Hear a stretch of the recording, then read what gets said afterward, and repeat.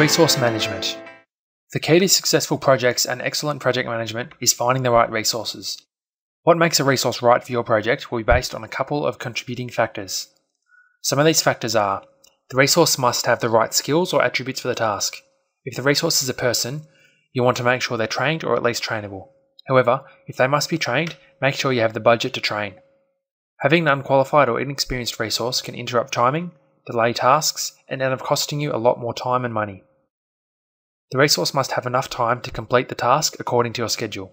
You won't want a resource that is so busy with other things that your task won't be completed on time. The resource must have the ability to commit to your task. If you have to get permission from someone else to use this resource, do so before you assign the resource to a task. The resource must have a cost that fits your budget.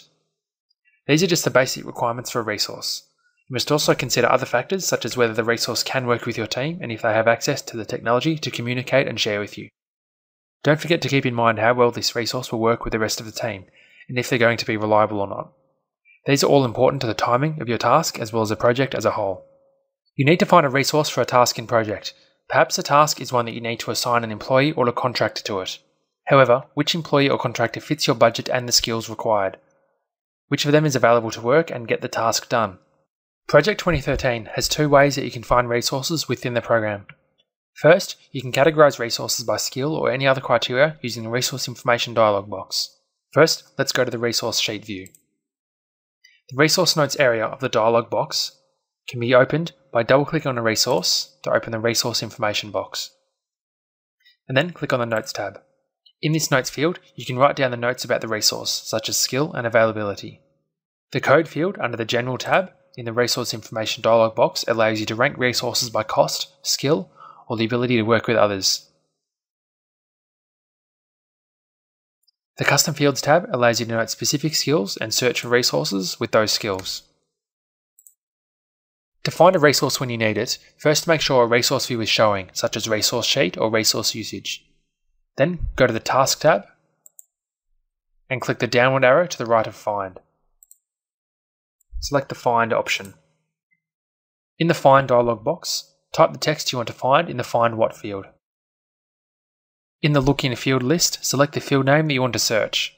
In the text box, choose a criterion. Choose Up in the search field if you want to search backward from your current location, which is a selected cell. Otherwise, choose Down. To begin searching, click the Find Next button to find the next occurrence of what you're looking for in the project. It's very important that as a project manager, you also manage the resources that are allocated to tasks and make sure that those resources are going to be available for the task when you need them to be. This is critical if you're going to stay on schedule. You do not want your resources to be overbooked. In this section, you're going to learn about managing availability and allocation at the same time. This is because they go hand in hand. You cannot allocate a resource that's not available, and if a resource is available, you have to make sure that you do not over allocate it. There are three things you can do to make sure that your resources are available and do not become over allocated. You can keep an eye on your project plan. By going to the resource graph view, you can spot overbooking tasks. You can spot overbooking on tasks. To view the resource graph view, click on Other Views and go down to Resource Graph. You can also track the workload of individual resources. Take note of people who have put in a lot of overtime just to keep up with the schedule.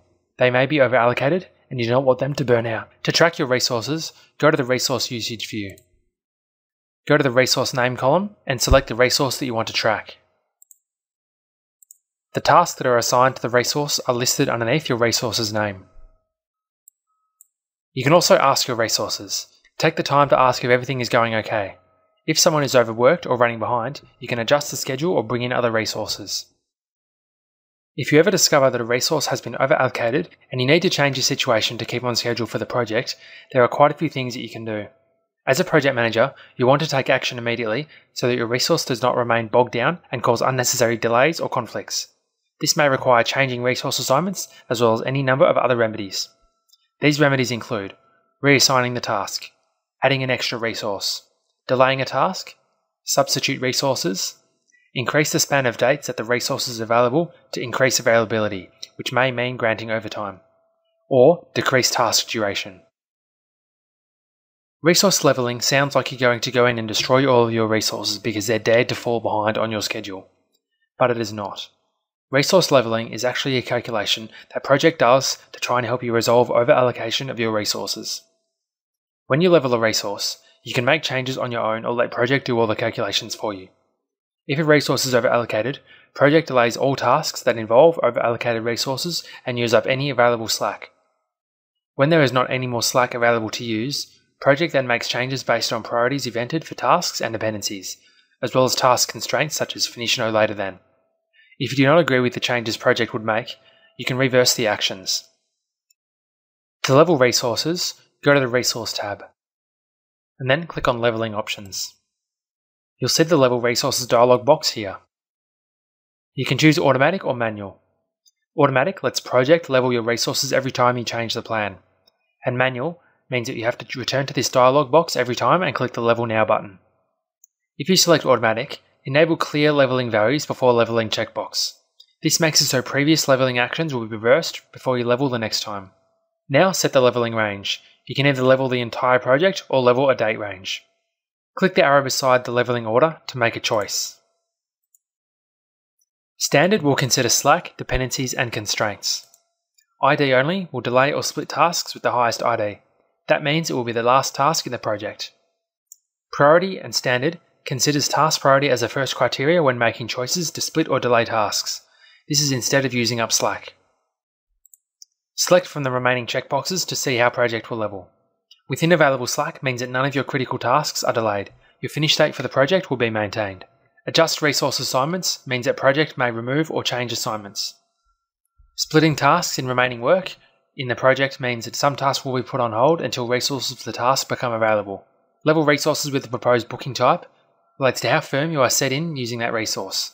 When we created resources, you probably noticed the confirmed or proposed booking type. Confirmed will mean that you are set on using it, while proposed means you are not. Level manually scheduled tasks also mean that tasks that you've manually scheduled are also leveled. Click Level All or Level Now to start the leveling process. Otherwise, click Cancel.